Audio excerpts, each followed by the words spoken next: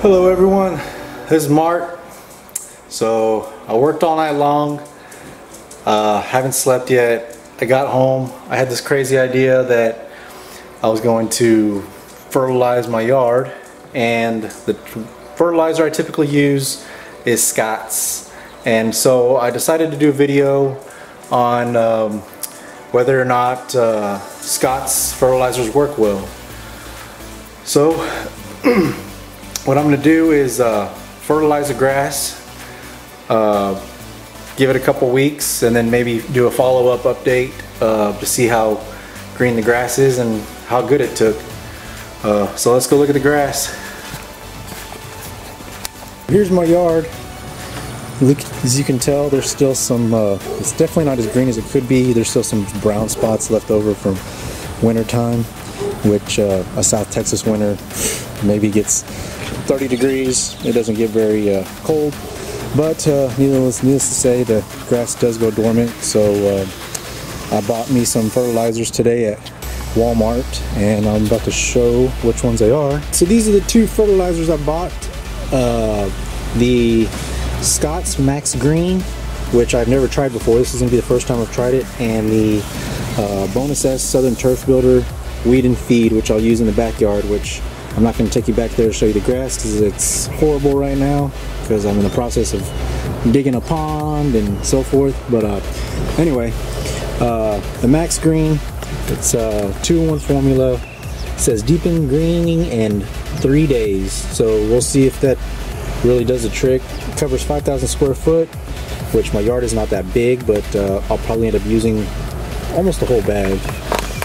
Um, let's see I'll be using a drop spreader just like this one. And let's see you just push it pull the handle uh, self-explanatory. But uh, let's see recommended setting is put the spreader at a 7 and after you apply it it says for best results lightly water in. So yeah I'm going to um, open this open this bag up, uh, fertilize. So one thing I forgot to mention is you want to kind of fertilize when, well if I've had the best luck when uh, it's not going to rain for at least 24 hours. You don't want to have a heavy downpour and your fertilizer just get washed away. So that's what I'm going to do. We're not expecting rain for the next three days, so hopefully it sets in and, and uh, fits to work.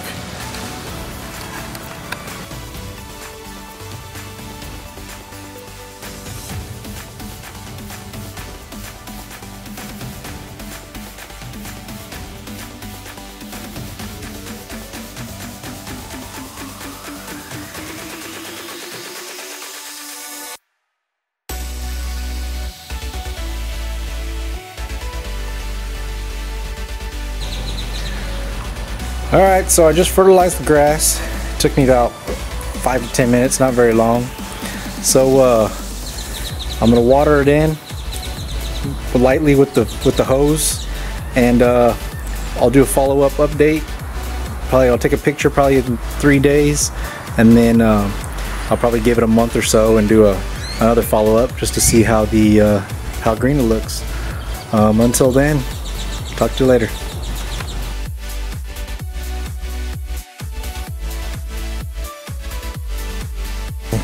Alright folks, this is my uh, update. Um, it's been more than three days. It's actually been four. Yesterday was was pretty rainy and I didn't want to come out here and do an update. Um, so after three days, I would say that it's gotten uh, somewhat greener.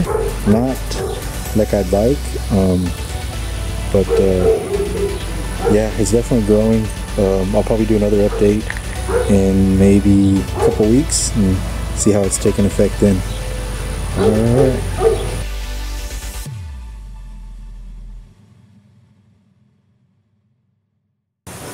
everybody, this is my grass after three weeks after using the Scotts Max Green Fertilizer. It is super green. I need to cut it. it took off big time.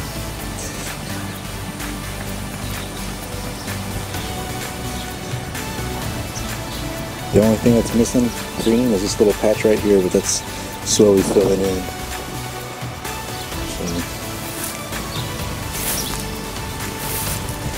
I would put this stuff on my yard again and again in a heartbeat.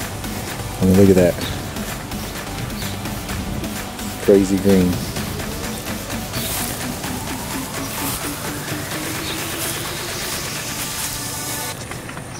I've actually had to cut it twice since I put it down, the fertilizer down. And uh, we had pretty heavy rain maybe two weeks ago, which just like made it skyrocket. But uh, so yeah, look at that, super green.